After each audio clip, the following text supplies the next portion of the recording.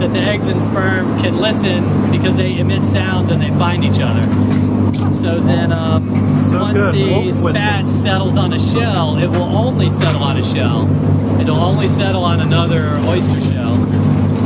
Kind of homogenous way to look at population, but you know, it's what oysters do, I guess. And then after after a season in the school, they'll come here, and the little ones will start here, and then as they outgrow that, they'll get some will get shifted to here to here, and then as they populate, as they sort of grow out in this nursery environment, they'll then go into bags like this and go over to uh, out to Bay Ridge or up to Soundview or up to Haverstraw Bay or out into the research project environment.